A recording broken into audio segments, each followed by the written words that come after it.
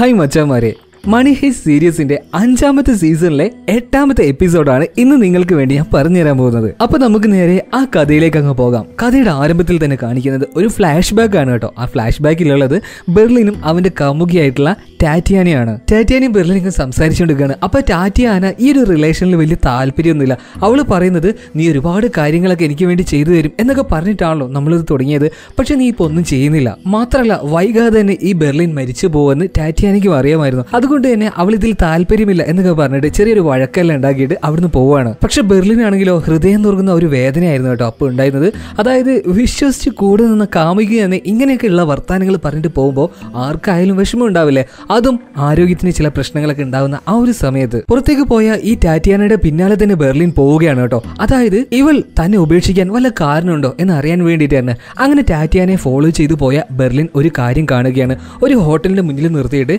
ഈ ടാറ്റിയാന കാറിന്റെ പുറത്തേക്ക് ഇറങ്ങി അവളെ സ്വീകരിക്കാനായിട്ട് തന്നെ അവിടെ ഒരു ചെറുപ്പക്കാരൻ ഉണ്ടായിരുന്നു. ആ ചെറുപ്പക്കാരൻ ആരാണെന്ന് അറിയാമോ? ഈ ബെർലിന്റെ തന്നെ മകനായിട്ടുള്ള റാഫേൽ ആയിരുന്നു അത്. എന്തൊരു കഷ്ടല്ലേ? ആകെ തകർന്ന് അടിഞ്ഞു പോവുകയാണ് ബെർലിൻ അവിടെ. ഇനി നമുക്ക് ഇപ്പോഴത്തെ കഥയിലേക്ക് വരാം. അവിടെ ഇപ്പൊ പലർമോ ബൊഗോട്ട് ഇവരെല്ലാവരും കൂടിയിട്ട് ആ ഒരു സ്വർണം ആ ഒരു കുഴലിലൂടെ ഇവരുടെ ആ ഒരു ടണലിന്റെ ഉള്ളിലേക്ക് എത്തിക്കാനുള്ള പരിപാടി ചെയ്തുകൊണ്ടിരിക്കുകയാണ് കേട്ടോ. അതിന്റെ ഏറ്റവും അവസാന ഘട്ടത്തിലാണ് അവരിപ്പോ. അങ്ങനെ കുറച്ച് സമയത്തിനുള്ളിൽ അവസാന തരി സ്വർണം വരെ അവർ പുറത്തേക്ക് എടുക്കുകയാണ് കേട്ടോ. അവരെല്ലാവരും ഹാപ്പി ആവണം അങ്ങോട്ടും ഇങ്ങോട്ടും തുള്ളി ചാടുന്നുണ്ട് ഇതേ സമയം തന്നെ പുറത്തുണ്ടായിരുന്ന ആ ഒരു ടെന്റിന്റെ ഉള്ളിൽ നിന്നും തമയോ അവന്റെ ആൾക്കാരെടുത്ത് നിരീക്ഷിച്ചുകൊണ്ടേയിരിക്കുകയാണ്. അപ്പൊ അവിടെ ഉണ്ടായിരുന്ന ഒരാൾ ഒരു കാര്യം ശ്രദ്ധിക്കുകയാണ് കേട്ടോ. അതായത് ഒരു പ്രത്യേക രീതിയിലുള്ള കമ്പനങ്ങൾ ശബ്ദങ്ങൾ അവിടെ നിന്ന് കേൾക്കുകയാണ്. പക്ഷെ എന്താണെന്ന് മനസ്സിലാവുന്നില്ല. അവരത് റിപ്പീറ്റ് അടിച്ച് റിപ്പീറ്റ് അടിച്ച് തന്നെ കേൾക്കുന്നുണ്ട്. ഇപ്പൊ ഏഞ്ചലും അതുപോലെ തന്നെ അങ്ങോട്ടേക്ക് വന്നിട്ട് ആ ഒരു ശബ്ദം വ്യക്തമായിട്ട് തന്നെ കേൾക്കുകയാണ് കേട്ടോ. അപ്പൊ അവർക്ക് ഏതാണ്ടൊക്കെ ഒരു കാര്യം മനസ്സിലായിട്ടുണ്ട്. ആ ഒരു പൈപ്പിലൂടെ എന്തോ ഒരു കാര്യം ഇവർ ശക്തമായിട്ട് തന്നെ പ്രഷർ കൊടുത്തുകൊണ്ട് നീക്കുന്നുണ്ട്. ഇപ്പൊ കുറച്ച് ബുദ്ധിജീവികളൊക്കെ അങ്ങോട്ടേക്ക് വിളിച്ചത് തമയെ ചോദിക്കുന്നുണ്ട്. എന്തായിരിക്കും അവരുടെ ആ ഒരു പദ്ധതി.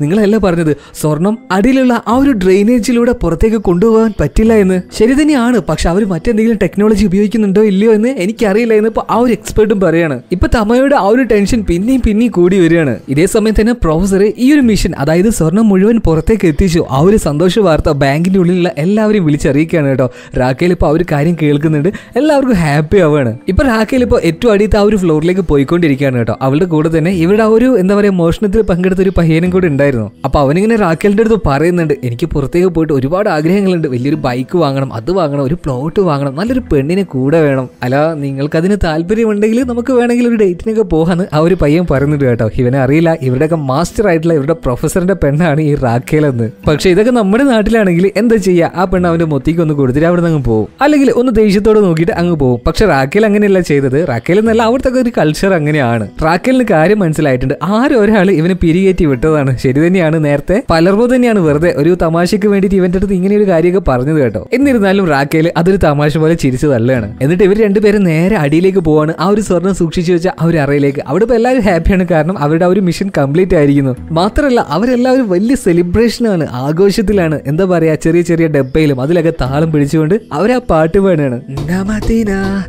Mizuno Zatro, Oh bella ciao, bella ciao, bella ciao, ciao, ciao, Namatina, Mizuno Zatro, E ho trovato l'invasor. അങ്ങനെ എല്ലാവരും അത്യധികം ആഘോഷത്തിലാണ് കേട്ടോ. ഇതേ സമയം തന്നെ പുറത്തുണ്ടായിരുന്ന തമയുടെ ആൾക്കാർ ഏകദേശം അവർ കണ്ടുപിടിച്ചിട്ടുണ്ട് എന്താണ് ഇവരുടെ പദ്ധതി എന്ന്. അതായത് ഡ്രെയിനേജിലൂടെ തന്നെയാണ് ആ ഒരു ഗോൾഡ് അവർ കടത്തിക്കൊണ്ടിരിക്കുന്നത്. പക്ഷെ അത് എങ്ങോട്ടേക്കായിരിക്കും? ആ ഒരു കാര്യമാണ് അവരിപ്പോൾ തിരഞ്ഞുകൊണ്ടിരിക്കുന്നത്. ഇതേ സമയം തന്നെ ഉള്ളിലുണ്ടായിരുന്ന പലർമോയോട് റിയ ചോദിക്കുന്നുണ്ട് ഇനി എന്താണ് ഞങ്ങളുടെ അടുത്ത പദ്ധതി? അതൊന്നും ഇനി നമ്മൾ നോക്കേണ്ടതില്ല. നമ്മളുടെ അതായത് നമ്മളുടെ ഈ ഒരു ടീമിന്റെ ദൗത്യം എന്ന് പറയുന്നത് സ്വർണത്തെ പുറത്തെത്തിക്കൽ മാത്രമാണ്. നമ്മൾ അത് ചെയ്തിട്ടുണ്ട്. ഇനി ബാക്കിയുള്ള കാര്യങ്ങൾ അത് പ്രൊഫസറുടെ കയ്യിലാണ്. അദ്ദേഹം ചെയ്യുന്നത് എന്തോ അതുപോലെ നമ്മൾ ഇനി അനുസരിക്കുക. ഇതേ സമയം തന്നെ തമിഴ് ആൾക്കാരെ കൂട്ടിയിട്ട് അതായത് എക്സ്പേർട്ടുകളെ കൂട്ടിയിട്ട് ആ ഡ്രെയിനേജ് എങ്ങോട്ടൊക്കെയാണ് പോകുന്നത്? ആ ഒരു ലൊക്കേഷനൊക്കെ അവർ ഫൗണ്ട് ചെയ്യാണ്. ഏകദേശം ഒരു അഞ്ചാറ് സ്ഥലത്തേക്ക് ഇതിന്റെ ഈ ഒരു കണക്ഷൻ വ്യാപിച്ച് കിടക്കുന്നുണ്ട് കേട്ടോ. ഇമ്മീഡിയറ്റ് ആയിട്ട് ഇമ്മീഡിയറ്റ് ആയിട്ടാണ് വലിയൊരു പടയെ അങ്ങോട്ട് അയക്കാൻ വേണ്ടിയിട്ട് തമിയോ സുവാരസിന്റെ അടുത്ത് പറയാണ്. സുവാരസ് എന്ന് പറഞ്ഞാൽ പോലീസുകാരുടെ ലീഡറാണ് നിമിഷ നേരം കൊണ്ട് തന്നെ ഓരോരുത്തരും ഓരോ ഗ്രൂപ്പുകളായി തിരിഞ്ഞിട്ട് ആ ഒരു ലൊക്കേഷനിൽ പതിയെ പതിയെ പതിയല്ല വളരെയധികം വേഗത്തിൽ പോയിക്കൊണ്ടിരിക്കുകയാണ്. ഈ ഒരു കാര്യം മുകളിൽ മുകളിലുണ്ടായിരുന്ന റാക്കേൽ കാണുന്നുണ്ട് കേട്ടോ. റാക്കേൽ ഈ ഒരു കാര്യം പ്രൊഫസറിനെ അറിയിച്ചിട്ടുണ്ട്. പ്രൊഫസർ പറയാണ് ഇത് നമ്മുടെ പദ്ധതിയിലുള്ള കാര്യം തന്നെയാണ്. അവർ പോകട്ടെ. പക്ഷെ അവർ പോകാൻ പോകുന്നത് റോങ് ആയിട്ടുള്ള സ്ഥലത്തേക്കാണ്. നമ്മളുടെ അടുത്തേക്ക് അവർ എത്തുക പോലുമില്ല അതുവരെ നമുക്ക് സമയമുണ്ട്. അതുപോലെ തന്നെ ബെഞ്ചമിൻ ഉള്ളിലുണ്ടായിരുന്ന ആ കമാൻഡോ പെണ്ണില്ലേ അവളെ കോൺടാക്ട് ചെയ്യാണ്. ഒരു പ്രത്യേക ലുക്കിലൊക്കെ ഉള്ള അവൾ പറയാണ് എനിക്ക് കുറച്ച് സമയം കൂടെ ആവശ്യമാണ്. നിങ്ങൾ കുറച്ചേരെന്ന് വെയിറ്റ് ചെയ്യൂ. ഇവിടെ ഇവിടെ സീൻ കട്ടെ അടുത്ത സീനിൽ കാണിക്കുന്നത് മോണിക്കയാണ് കേട്ടോ. അതായത് സ്റ്റോക്ക് ഹോം പേര് പോലെ തന്നെ ഒരു ഭ്രാന്തിയെ പോലെ ആയിട്ടുണ്ട്. അവളിപ്പോ അവളിപ്പോ എന്തോ ഒരു ശബ്ദം കേട്ടിട്ട് അങ്ങോട്ടേക്ക് പോ- വല്ലാതെ അങ്ങോട്ട് ഷൂട്ട് ചെയ്യാണ് കേട്ടോ. ആ ഒരു സമയത്താണ് അങ്ങോട്ടേക്ക് ഡെൻവർ എത്തിയിട്ടുള്ളത്. എന്താണ് മോണിക്ക? നിനക്ക് പറ്റിയത് ഭ്രാന്തായോ സ്റ്റോക്ക് ഹോം ഡെൻവർ ഇപ്പോ മോണിക്കയെ സമാധാനിപ്പിക്കാൻ ശ്രമിക്കുകയാണ് കേട്ടോ. ഇതേ സമയം തന്നെ ആ ഒരു കമാൻഡർ ലേഡി ഉണ്ടല്ലോ. ഈ ഒരു ബാങ്കിന്റെ ഉള്ളിലൂടെ എന്തൊക്കെയോ കാര്യങ്ങൾ ചെയ്യാൻ വേണ്ടിയിട്ട് തന്നെ നിരങ്ങി നിരങ്ങി പോകുന്നുണ്ട്. അവളിപ്പോ ആ ഒരു എ സിയുടെ എയർ പോകാൻ വേണ്ടിയിട്ടുണ്ടായിരുന്ന പൈപ്പ് ഉണ്ടല്ലോ. അതിന്റെ ഉള്ളിൽ നിന്ന് പുറത്തേക്ക് ഇറങ്ങുകയാണ്. കാര്യമായിട്ട് കാര്യമായിട്ട് തന്നെ എന്തോ ഒന്ന് ഇവർ ചെയ്തുകൊണ്ടിരിക്കുന്നുണ്ട്. ഇതേ സമയം തന്നെ സുവാരസിന്റെ നേതൃത്വത്തിലുള്ള ഒരു വലിയ പോലീസ് സംഘം അവർ ആ ഒരു ലൊക്കേഷനിലേക്ക് പോയിക്കൊണ്ടിരിക്കുകയാണ്. അതായത് ഡ്രെയിനേജ് എവിടെയാണോ ചെന്ന് ചേരുന്നത് ആ ഒരു ഭാഗത്തിലേക്ക്. ഇതേ സമയം ബാങ്കിന്റെ ഉള്ളിൽ ഡെൻവർ ഇപ്പോൾ സ്റ്റോക്ക് ഹോമിനെ ട്രീറ്റ് ചെയ്തുകൊണ്ടിരിക്കുകയാണ് കേട്ടോ. അതായത് അവളുടെ ആ ഒരു മെന്റാലിറ്റി മെന്റാലിറ്റി അല്ല മൈൻഡ് സെറ്റൊക്കെ ഒന്ന് മാറ്റാൻ വേണ്ടിയിട്ട് ആകെ തകർന്നു എടുക്കാണല്ലോ അവൾ. അതായത് ഒരു ഭയം തന്നെയാണ് മനസ്സിന്റെ ഉള്ളിൽ ആ ഒരു പേടി ഇനി ജീവിക്കാൻ കഴിയുള്ള. അപ്പൊ അവൾക്ക് മാക്സിമം പ്രതീക്ഷ കൊടുക്കുകയാണ് ഈ ഡെൻവർ. ഇതേ നേരം തന്നെ പുറത്ത് സുവാരസിന്റെ നേതൃത്വത്തിൽ ആ ഒരു പോലീസ് ഒരു ലൊക്കേഷനിൽ എത്തിയിട്ടുണ്ട്. പെട്ടെന്ന് തന്നെ അവർ ആ ഒരു ബിൽഡിങ്ങിന്റെ ഉള്ളിലേക്ക് പോവാണ് തോക്കല്ലെടുത്തിട്ടാണ് പോകുന്നത്. അവിടുത്തെ ഓരോ ചേംബർ തുറക്കുമ്പോഴും അവർ ഹാൻഡ്സ് അപ്പ് എന്ന് പറഞ്ഞിട്ടൊക്കെയാണ് തുറക്കുന്നത്.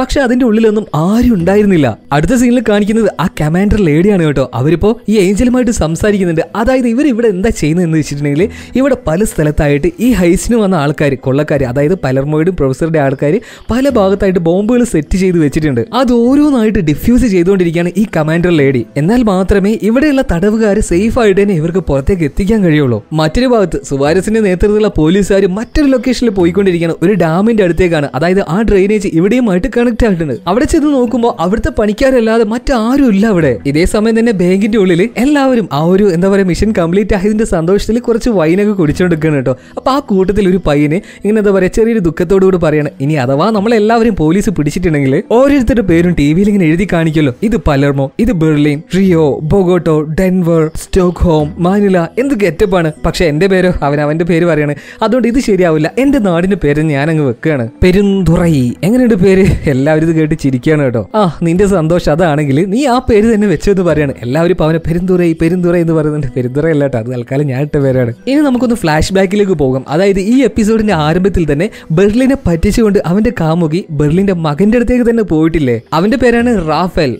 റാഫേൽ ഇപ്പോ ആ ഒരു ഹോട്ടലിൽ ഇങ്ങനെ ഇരിക്കുകയാണ് കേട്ടോ. അവന്റെ ആ ഒരു കാമുകയും കാത്തുകൊണ്ട് എന്തോ ഡ്രസ്സ് ചേഞ്ച് ചെയ്യാനായിട്ട് പോയ ഒരു സമയത്ത്. അപ്പൊ അങ്ങോട്ടേക്ക് അവന്റെ അച്ഛനായിട്ടുള്ള ബെർലിൻ വരികയാണ്. ബെർലിനെ പെട്ടെന്ന് കണ്ടതുകൊണ്ട് തന്നെ ഈ മകനായിട്ടുള്ള റാഫേൽ ഒന്ന് ഞെട്ടിപ്പോവുകയാണ് കേട്ടോ. ഇപ്പൊ ഈ ബെർലിൻ തന്നെ പറയാണ് പേടിക്കണ്ട അവൾ വരാൻ കുറച്ച് സമയം എടുക്കും എന്നിരുന്നാലും നിനക്കൊരു പെണ്ണിനോട് ആശ തോന്നുക ഒക്കെ ഓക്കെ. പക്ഷെ അത് നിന്റെ അച്ഛൻ പ്രേമിച്ച പെണ്ണിനെ തന്നെ വേണമായിരുന്നോ. എന്റെ പെണ്ണിനെ തന്നെ വേണമായിരുന്നോ. ഇപ്പൊ ഈ റാഫേൽ കിടുകിടാന്നിട്ട് വിറക്കുന്നുണ്ട് കേട്ടോ. ഈ സമയത്ത് ഒരു ധൈര്യത്തിൽ ഒരു ഊക്കിൽ അവൻ പറയുകയാണ് ഞാൻ അവളെ പ്രണയിച്ചു പോയി. അതുകൊണ്ട് തന്നെ ഞാൻ ആരാണെന്ന് പോലും നോക്കിയില്ല. അവളെ സ്വന്തമാക്കാനുള്ള ഓരോ കാര്യങ്ങളും ഞാൻ ചെയ്തു. ഇത് കേട്ട സമയത്ത് ബെർലിൻ പെട്ടെന്ന് ഞെട്ടിപ്പോവാണ് അവന്റെ ആ മകന്റെ വാക്കുകൾ കേട്ടിട്ട് അവൻ എന്തോ എന്താ പറയാ മകനോട് തന്നെ ഒരു റെസ്പെക്ട് തോന്നുകയാണ്. ഈ സമയത്ത് ബെർലിൻ പറയുകയാണ് നിന്റെ അതെ അതായത് എന്റെ അതേ മെന്റാലിറ്റി തന്നെയാണ് നിനക്ക്. ഞാനൊരു പെണ്ണിനെ സ്വന്തമാക്കണം എന്ന് വിചാരിച്ചിട്ടുണ്ടെങ്കിൽ അതെന്റെ കുടുംബമായാലും ശരി എന്റെ അച്ഛന്റെ ആ ഭാര്യയായാലും ശരി ഞാൻ അത് തന്നെ ചെയ്തിരിക്കും. അതാണ് എന്റെ ചങ്കൂറ്റം അതാണ് എന്റെ തിയറി. അത് തന്നെയാണ് നീ ഇവിടെ നടപ്പിലാക്കിയത്. ആ ഒരു കാര്യത്തിൽ ജീവിതത്തിൽ ആദ്യമായിട്ട് നിന്നെ കുറിച്ച് ഞാൻ ഓർത്ത് അഭിമാനിക്കുകയാണ്. അപ്പോഴേക്കും അങ്ങോട്ടേക്ക് ടിറ്റിയാന് വരികയാണ് കേട്ടോ. ഇപ്പൊ ടിറ്റിയാനിന്റെ അടുത്ത് പറയാണ് എന്തായാലും എന്റെ ഹൃദയം നുറുങ്ങുന്ന വേദന തന്നെയാണ് നീ എനിക്ക് തന്നത്. ഒരുപക്ഷെ ഒന്നോ രണ്ടോ വർഷങ്ങൾക്കുള്ളിൽ ഞാൻ മരിച്ചു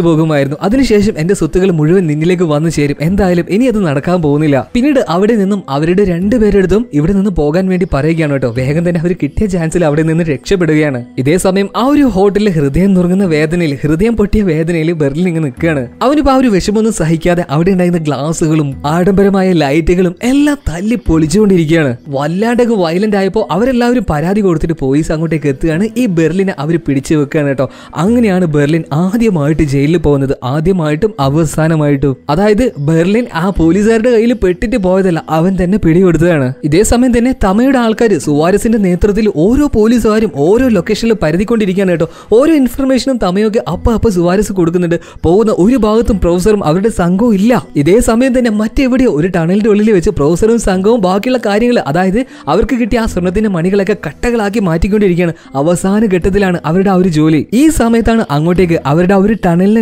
ലക്ഷ്യമാക്കിക്കൊണ്ട് തന്നെ മൂന്ന് കാറുകൾ വരുന്നത് പോലീസുകാരുടെ വണ്ടിയാണ് കേട്ടോ. ഈ ഒരു കാര്യം മുംബൈ വെച്ചിട്ടുള്ള ചെറിയൊരു സിഗ്നൽ ഉണ്ട്. അതിൽ തട്ടിയിട്ട് ആ ഒരു സിഗ്നൽ ഇവരുടെ ടണലിലേക്ക് ലഭിക്കാണ് കേട്ടോ. ഇക്കാര്യം ആദ്യമായിട്ട് കണ്ടത് മർസലെ ആയിരുന്നു. മർസല പെട്ടെന്ന് തന്നെ ഈ ഒരു കാര്യം പ്രൊഫസറെ അറിയിച്ചു. പ്രൊഫസർ നോക്കുമ്പോൾ എങ്ങനെയൊക്കെയോ മൂന്ന് പോലീസ് വണ്ടികൾ അങ്ങോട്ടേക്ക് വന്നുകൊണ്ടിരിക്കുകയാണ് കേട്ടോ. പ്രൊഫസർ നെഞ്ചൊന്ന് കാളുകയാണ്. കാരണം ഇവരുടെ പദ്ധതി മുഴുവനായിട്ട് പാളി പോയിരിക്കുന്നു ഒരിക്കലും ഈ ഒരു സ്ഥലം കണ്ടുപിടിക്കില്ല എന്ന് തന്നെയായിരുന്നു പ്രൊഫസർ വിചാരിച്ചത്. പക്ഷേ ഇതിന്റെ പിന്നിൽ വലിയൊരു ട്വിസ്റ്റ് ഉണ്ട് കേട്ടോ. അതിപ്പോ വൈകാതെ തന്നെ നിങ്ങൾക്ക് മനസ്സിലാവും. ഇപ്പൊ ഇവരെല്ലാവരും അതായത് മേഴ്സല്ല ആ വൃദ്ധനായ ആൾ എല്ലാവരും തോക്കെടുക്കാണ് കേട്ടോ. അതായത് പോലീസുകാർ ഇങ്ങോട്ടേക്ക് വന്നിട്ടുണ്ടെങ്കിൽ അവരെ അറ്റാക്ക് ചെയ്ത് കൊല്ലാൻ വേണ്ടിയിട്ട് തന്നെ. പക്ഷെ എല്ലാവരും പ്രൊഫസർ തടുക്കാണ് കേട്ടോ. പ്രൊഫസർ പറയുകയാണ് നമ്മൾ തോറ്റുപോയി നമ്മൾ തോറ്റുപോയി. ഇനി ഒന്നും ചെയ്തിട്ട് കാര്യമില്ല. ആ വരുന്നവരെ വെടിവെച്ചിടാം എന്ന് മൗസല പറഞ്ഞെങ്കിലും പ്രൊഫസർ അത് സമ്മതിച്ചില്ല. നീ ഇപ്പൊ പറ്റുമെങ്കിൽ അവർ മൂന്ന് വണ്ടികളെയും വെടിവെച്ചിടും. പക്ഷേ ഇനി വരാൻ പോകുന്നത് ഒരു ബസ് നിറയെ പട്ടാളക്കാരായിരിക്കും. ഇപ്പൊ ഇവരടുത്ത് എല്ലാവരും ആയുധങ്ങൾ താഴെയിടാൻ വേണ്ടിയിട്ട് പ്രൊഫസർ പറയാണ് കേട്ടോ. അപ്പോഴേക്കും അങ്ങോട്ടേക്ക് പോലീസുകാർ എത്തുകയാണ് ഇവരെല്ലാവരും അറസ്റ്റ് ചെയ്യുകയാണ് കേട്ടോ. കയ്യിൽ വിലങ്ങെല്ലാം വെച്ചു. അവരുടേതായ ആ ഒരു വണ്ടിയിലേക്ക് ഇവരെല്ലാവരും കയറ്റുകയാണ്. ഇനി നമുക്കൊന്ന് ഫ്ലാഷ് ബാക്കിലേക്ക് പോകാം. അതായത് ബെർലിൻ ജയിൽവാസം എല്ലാം കഴിഞ്ഞിട്ട് പുറത്തേക്ക് വന്നിട്ടുണ്ട്. അവനെ കൂട്ടാനായിട്ട് പോയത് അവന്റെ അനിയനായിട്ടുള്ള നമ്മുടെ പ്രൊഫസർ സെർജിയോ തന്നെയാണ്. ഒരുപാട് ദൂരത്തേക്ക് ഇവരിങ്ങനെ ഡ്രൈവ് ചെയ്ത് പോകുന്നുണ്ട്. ഒരു സ്ഥലത്ത് എത്തിയിട്ടുണ്ട്. എന്നിട്ടും ഈ ഒരു പ്രൊഫസർ അതായത് ഈ സെർജിയോ ബെർലിന്റെ അടുത്ത് ഒരു അക്ഷരം പോലും സംസാരിക്കുന്നില്ല. എന്താണ് കാരണം എന്നൊക്കെ ഇപ്പൊ ബെർലിൻ ചോദിക്കുന്നുണ്ട്. ഇപ്പൊ ബെർലിന്റെ അടുത്ത് പ്രൊഫസർ ചോദിക്കുകയാണ് എന്തിനു വേണ്ടിയിട്ടാണ് നീ പിടികൊടുത്തത്? ഉള്ള കാര്യം അതുപോലെ തന്നെ ബെർലിൻ പറയുകയാണ് എന്തായാലും ശരി എന്റെ മകൻ എന്റെ കാമുകിയെ കൊണ്ടുപോയി. എന്റെ ഹൃദയം നുറങ്ങുന്ന വേദന തന്നെയാണ് അവൻ എനിക്ക് തന്നത് എന്നാലും കുഴപ്പമില്ല. ഞാൻ ഇതിനെല്ലാം അതിജീവിക്കും. ഞാൻ എല്ലാത്തിനേക്കാളും വലുതാണല്ലേ? സ്ട്രോങ് ഹേർട്ട് അല്ലേ? എനിക്ക് വലിയൊരു പദ്ധതിയില്ലേ? അതിനായിട്ട് ഞാൻ ജീവിക്കും. ഇനിയും ജീവിക്കും. കല്ല് മനുഷ്യനായിട്ട് തന്നെ ജീവിക്കും എന്ന് പറഞ്ഞിട്ട്